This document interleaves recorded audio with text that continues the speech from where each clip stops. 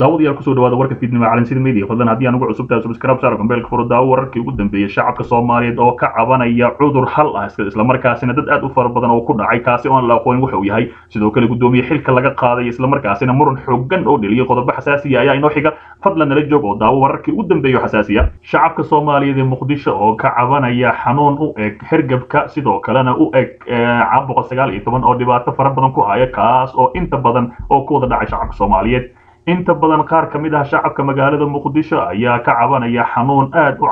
xanuun aad ugu calaamo eg caabuqa sagaal iyo toban balse aanan la xaqiijin waxa uu yahay kaas oo dad badan soo ritay islamarkaasina dadka ay wada qabaan xanuun isku mid ah. Inkastoo aysan jirin daraasada ama tirakoob ku aadan boqolkiiba dadka ka sheeganaya xanuunkaasi haddana waxaa dad badan ay ku sheegayaan in ay xanuunkaasi dareemayaan toddobaad ilaa ugu yaraan ama ilaa ugu badnaan shan iyo toban cisho sida ay sheegeen qaar ka mid ah dadka la hadlay warbaahinta gudaha ee magaalada muqdisho. Xanuunkan ayaa dadka uu haleelay waxay ku sheegeen hergab xooggan balse malaha ma lahan astaamihii hargabka waxaana uu wehliya calaamada kale oo ka mid ah ama u eg cudurka caabuqa sagaal iyo toban ee dhibaato fara badan ku ahay adduunka intiisa kale.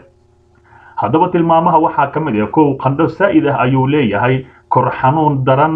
gaar ahaan kala goysyada dhabarka iyo murqaha ayuu leeyahay. Bukaanka oo raashiinka ka go-o ama aysan ku adkaato inuu raashiin qaato af khaleel iyo iyo urka ama carafta oo ka tagaya qofkii uusan dareemaynin wax walba. Kufac iyo hindisyo aan badnayn ayaa ayuu leeyahay taas oo iminka la leeyahay. Meelo badan wuxuu u eg yahay caabuqa sagaal iyo toban halka dad kalena ay dhahayeen kani qufac ma ahan oo waa uu ka daran yahay maadaama qufac aad loo yaqaano. Dhammaan calaamadahani waa kuwo ay kuwo ay si isku mid ahay u arkeen dadka uu ku dhacay waxaana hadda la jiifa boqolaal kale. Dadka uu xanuunkani soo ritay ayaa keliya ayaa keliya isticmaalaya kaniiniga xanuunka baabi'iyo maraq iyo shaah sanjabiil leh. Waxaana la sheegay in ay ka bogsadeen dadkii uu haleelay oo ilaa shan iyo toban cisho u hayay. Weli ma jirto dhakhtar ama isbitaal xanuunkaasi baaray balse waxay dadku sheegayaan in waxa haya ay yihiin hargab mana ka muuqato astaamihii hargabka oo dhammaystiran. Sidoo kale xanuunkani ayaa si si safmarayn ahay ugu dhaca qoysaska uu haleelo. Qof ka mid ahi waxyaabaha bulshada qaar muujinaya walaac xoog leh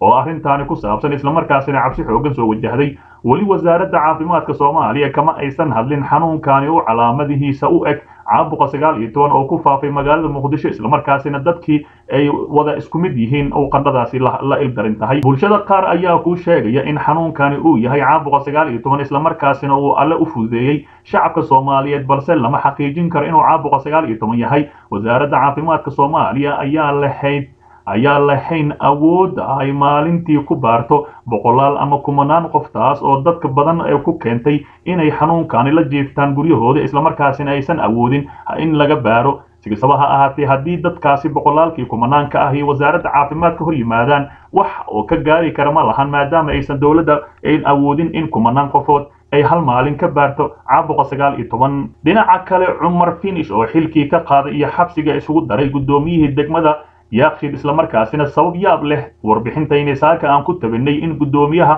uu bilaabay canshuur aan lala ogeyn gobolka banaadir guddoomiyaha gobolka banaadir ahna duqa magaalada muqdisho cumar finish maxamed cumar finish ayaa xilka ka qaaday guddoomiyihii degmada shibis cabdiraxmaan sayid cali kadib markii waraaqo uu ku daadiyey xaafadaha islamarkaasina sheegay in looga baahan yahay canshuur aad ahi taas ayaana noqoto musuqmaasuq aad u xoogan wararkaan helayno ayaa sheegaya in markii xilka laga qaaday guddoomiyihii degmada xabsiga lagu xiray xaruntii dambe baarista ee c i d da baaris loogu sameeyey falal la xiriira musuq maasuqa guddoomiyaha xilka laga qaaday lana xiray ayaa la sheegay in ay guryahooda guryaha ku yaalla degmada shibis ku soo rogay bixinta lacaga canshuur ahi oo la sheegay in uusan ka warhaynin maamulka sare ee gobolka banaadir taas oo u gooni ah asiga musuq maasuqaasi. Tallaabadan uu qaaday guddoomiyaha gobolka banaadir cumar finish ayaa walaac ku abuuray guddoomiyaha kale ee degmooyinka gobolka banaadir oo marka qaar oo mararka qaar ku kaco musuq maasuq ku tagrifala awoodeeda islamarkaasina macquul ay tahay in ay ayagana iminka cabsi soo wajahdo maadaama guddoomiyihii ugu horreeya xabsiga la dhigay maadaama oo degmada uu madax ka yahay oo ku soo rogay canshuur asiga u gooni ahay. Dhinaca kale dhismaha wada wadda muhiim ahay sida u socota dhismaha laamiga ee degmada dainil ayaa la soo bandhigay islamarkaasina si casri a loo dhigay waxaa meel wanaagsan maraya dhismaha laamiga isku xira isgoyska kuliyadda jaalle siyaad ilaa xarunta degmada dayneele ee uu dhowaan si rasmi a u dhagax dhigay. Gudoomiyaha gobolka banaadir ahna duqa magaalada muqdisho. Dhismaha laamiga oo maalmihii la soo dhaafay socday ayaa maanta lagu bilaabay in la saaro laamiga waxaana la filayaa in sidoo kale marka laamiga la saaro ayna la dhiso marshabiyeediga islamarkaasina casri laga dhigo shacabka ku dhaqan degmada daynele ayaa si weyn u soo dhoweeyey dib u dhiska iyo casriyeynta lagu sameeyey laamiga degmada daynele oo muddo ka badan soddon sano oo burbursanaa islamarkaasina dowladihii u dambeysay aysan dhisin. Dhismaha laamigan cusub ee daynele ee dhexmara ayaa ka qayb qaadanaya bilicda iyo horumarka ka jira magaalada muqdisho gaar ahaan degmada daynele oo u muuqata mid ka ka soo kabanaysa horumarka ee kala ah magaalada ka jira islamarkaasina waqtiyadii u dambeysay ee aad u dunsaneed degmadaasi iminka la jaan qaadaysa degmooyinka kale ee magaalada muqdisho. Dhinaca kale sheikh shaakir oo shaaciyey qorshaha ay madaxda ahlu sunna u joogaan magaalada nairobi islamarkaasina fariin xasaasiya soo diray. Magaalada nairobi ee xarunta wadanka kenya ayaa waxaa ku sugan qaar ka mid ah mas'uuliyiinta maamulka ahlu sunna ahlu sunna waljamaaca ee gobollada dhexe ee galmudug ee loogu adkaaday magaalada dhuusamareeb islamarkaasina ka hayaamay deegaanadaasi sheekh maxamed shaakir cali xasan oo ka mid ahaa mas'uuliyiinta ahlu sunna ee ku sugan magaalada nairobi ayaa waraysi uu siiyey v o eeda ku sheegay in ujeedka ay u joogaan nairobi uu yahay mid shaqo islamarkaasina halkaasi danahooda u joogaan. Sheekh maxamed shaakir cali xasan oo sheegay inuu yahay madaxweynaha maamulka galmudug ayaa sheegay inuu kulamo la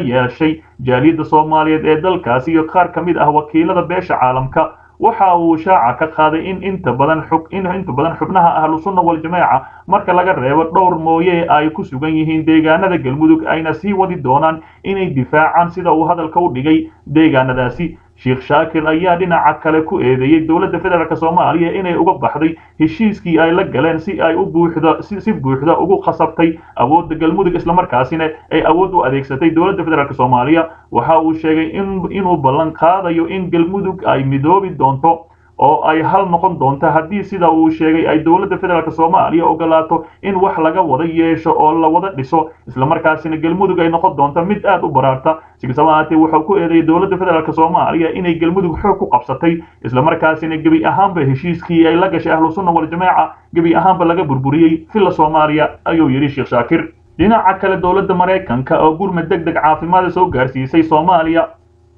deeqa caafimaad oo deeqdii ugu horreysay oo nooceeda ah ee ka timid dalka maraykanka ayaa maanta lagu wareejiyey wasaaradda caafimaadka soomaaliya taas oo loogu talagalay in lagula tacaalo xanuunka caabuqa sagaal iyo toban oo dhibaato ba'an ku hayo caalamka intiisa kale. Islamarkaasina soomaaliya iminka laga dareemayo saddex boqol iyo konton sariirood oo firaash ah iyo qalab kale oo looga hortaga xanuunka caabuqa sagaal iyo toban ee dhibaatada ku haya caalamka ayay ka kooban tahay taas oo kaalin weyn ka qaadanayso xakamaynta cudurka caabuqa sagaal iyo toban waxaana dowladda maraykanka ay u soo marisay hay'adda u s a i d oo ka mid ah hay'adaha caawiya soomaaliya. Mukhtaar yuusuf ciro oo ka mid ah mas'uuliyiinta hay'adda maraykanka ee arrimaha gargaarka oo ka wareejiyey deeqdani wasaaradda caafimaadka xukuumadda federaalk soomaaliya ayaa sheegay inay tahay mid loogu talagalay inay dowladda soomaaliya kaga hortagto cudurka caabuqa sagaal iyo toban oo cabsi weyn looga qabo. Wasiirka wasaaradda caafimaadka iyo daryeelka bulshada dowladda federaalk soomaaliya doctorisa fawsiye abikar nuur oo qalabka la wareegtay ayaa uga mahad celisay hay'addaasi ee maraykanka u soo xil saartay ee deeqdaasi soo gaarsiisay waxaana ay tilmaamtay